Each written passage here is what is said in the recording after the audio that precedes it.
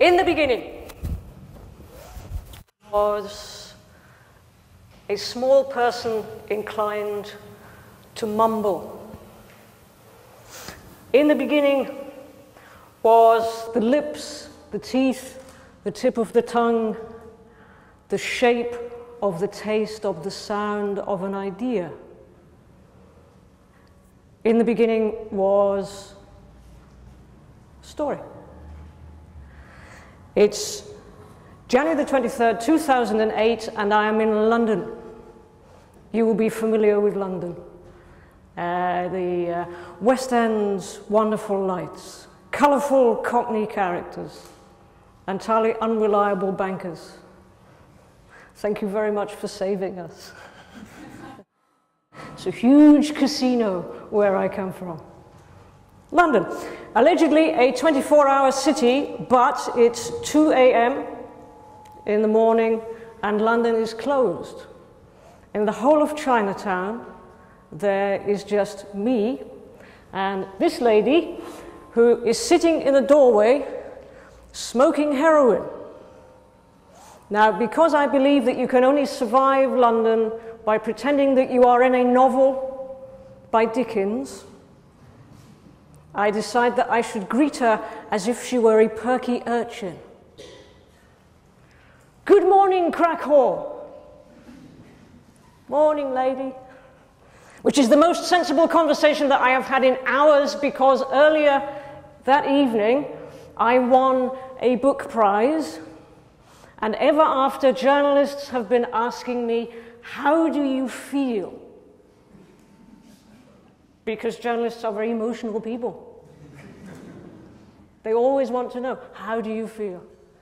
Tell us, when your entire family was swept into that combine harvester, and then their remaining blood-stained fragments were eaten by especially ugly dogs, how did you feel?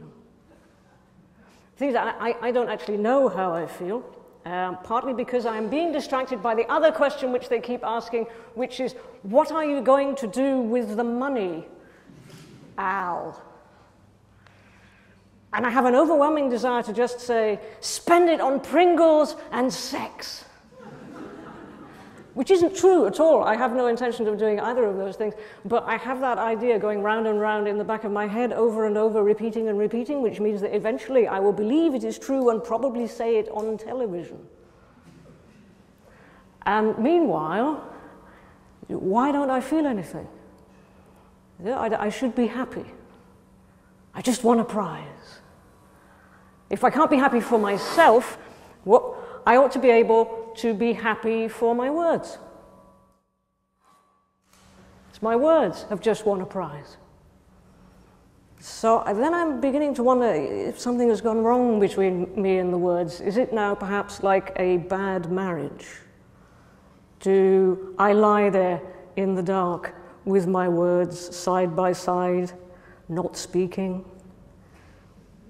Maybe possibly because at that vital moment when we were making paragraphs, I have to not move. My right buttock causes noises, I believe. This is sometimes the case. Oh. So maybe, maybe it's, it's, it's not working. Maybe at some point, you know, I, I, I shouted out the name of another book, so there is awkwardness between us. But then I think, well, okay, I will go back. I will go back and I will find out if there is something wrong. I will go back to the very beginning of me and words. What was, for example, my very first word? Which I know. My first word was no. It's a sign of a good Calvinist childhood. No. Everybody was saying it to me. But I was saying it back. No. I say no to your no. I am a very small but incredibly determined person. And when I grow up, I am going to say yes to everything. I am going to be a positive Scot. No, And, and, quite possibly I'll end up saying yes to sort of weird stuff that I'll regret later. No. Um, on second thoughts, my second word will not be yes. My second word will in fact be up. True, my second word was up. Anybody I saw who was taller than me, which was everybody, I would just go to them and I would say, Up. No. Up. Oh. She said, sure. no, I was a very frustrated child. Plus, because of being a novelist, I was also quite troubled. You have no idea how difficult it is being a four year old girl who wants to dress only in black. There is no kindergarten goth range. Even in Scotland, I did check. Uh, to make myself a little bit more interesting, I, I, I tried affecting a limp. Oh, that's interesting. Uh, it means grown ups look at you and they say, Oh, she does terribly well for a little girl with a limp. And I can say, Yes, I do. I'm incredibly brave. I also thought about uh, running away. It's an exciting and interesting thing to do. Um, but then I, I realized that I wasn't actually going to get very far uh, because of my incredibly bad limp. So I was stuck in Dundee. How do I describe Dundee to cosmopolitan and sophisticated Berliners? Um, think of a less exciting Kiel. Uh, I was born in Dundee, a little bit like being born in the mid to late 1750s, but without the fun of public executions and cholera. Dundee, it's where Britain makes a great many of its children's comics, uh, the Beano and the Dandy and uh, Just 17 teenage romance magazine, and also a publication called The People's Friend which again is very difficult to explain to cosmopolitan, sophisticated Berliners. Uh, the, the average reader's letter in the People's Friend magazine would, would run thusly uh, Dear People's Friend, I have been knitting a husband since 1953. I now lack only one flesh tone ball of Sirdar four ply knitting wool to complete his finishing touches. Perhaps your readers can assist. Yours, impatient of Brechin. It's terrible. It wasn't just Dundee, it was Dundee in the 1970s. Many of you are too young to remember the 1970s. In Britain, that meant incredibly bad trousers, awful haircuts, ridiculous ties, dreadful shirt collars, petrol queues, industrial action, and on the television, Doctor Who had the Cybermen, and they could flatten the entire city centre with a flick of a switch. And as far as Dundee was concerned, we had a district council authority which had flattened the entire city centre. Uh, I wouldn't like to say what they used for legal reasons, but quite possibly friends and family members who worked in the construction and related industries. So I had many reasons for creating alternative realities. Eventually, I actually did dream of running away. I was going to run away to old London town, and I was going to become a perky urchin, and I was going to scamper up and down alleyways because you need no qualifications for scampering. And I was going to steal real teeth from poor people in order to give them as false teeth to rich people. In about six months, that will once again in Britain be a proper job. Because I, had done research and I knew that in the past, medical appliances and prosthetics were made out of very peculiar things. Uh, George Washington, as you all know, wooden teeth, also with other people's teeth involved. Uh, Tycho Brahe, you will know, famous uh, astronomer, uh, he had a metal nose.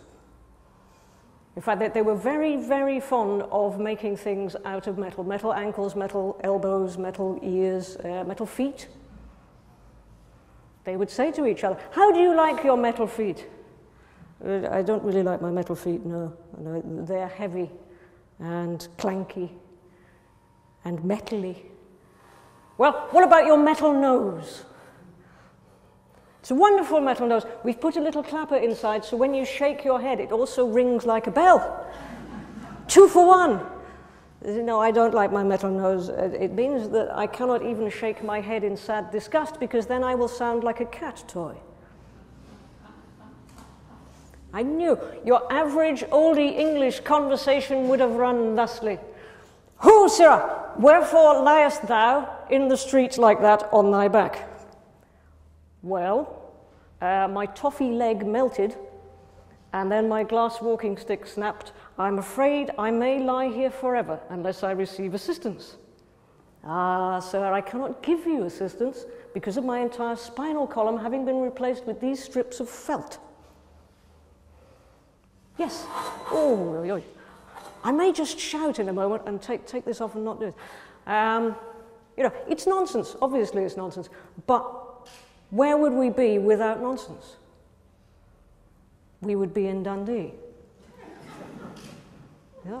And inside my head, I had all of my happy places. The imaginary past, one of my happy places. Narnia, Middle Earth, Gallifrey. And inside my head, it got bigger and happier and more beautiful because my mother taught me to read. She taught me to read before I went to school, which was a good thing. Except then I got to school and I worked out that nobody else could read yet. They'd just been wasting their time playing. So I pretended that I couldn't read either. And I also really genuinely couldn't add up. So I began to get very tense. And when I get tense, I tend to hunch. And obviously, I, I already had, you know, the limp and, and the whole black look that was working very well for me.